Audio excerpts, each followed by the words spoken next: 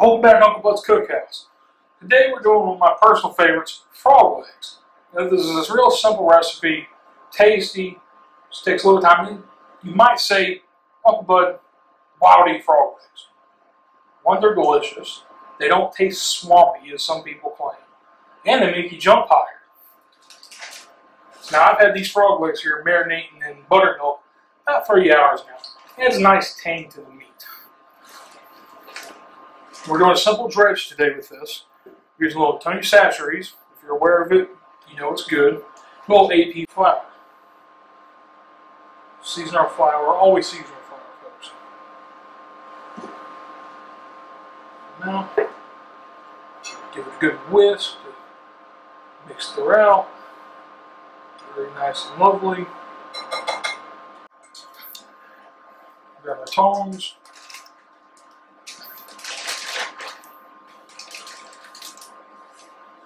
Frog legs.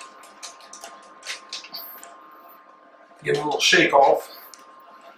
Lamb. And dredge. Got one more set here. Now when you buy these, they'll typically come frozen.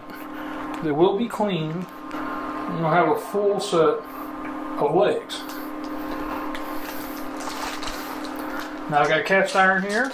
Oil's up to about 325. It's just canola, nothing crazy. You're just going to pan fry these. And a lot of people say, oh, you should deep fry. Well, growing up, we didn't have a deep fryer. We had skillets. So everything was kind of pan fried. Chicken, potatoes, everything. So now that these are coated, it's not heavy. Give them a little shake off and lay them away from you to keep from getting popped too much. As we have enough room in the skillet, cast iron holds its heat well. We'll do the same for the second set. We'll keep them on each side. You'll feel them stiffen up a little bit.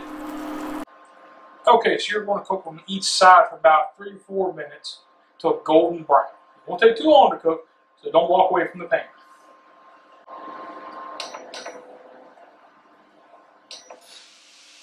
Alright, now they've done the other side for a few more minutes. We'll get one more flip, see how they turned out, and check for doneness. Oh yeah, look at that. Beautiful golden brown.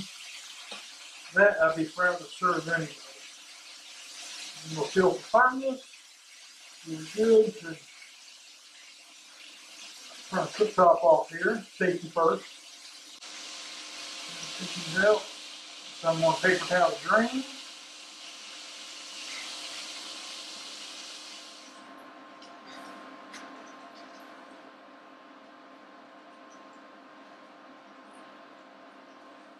All right, let's see how these frog legs taste. Take a little calf section here.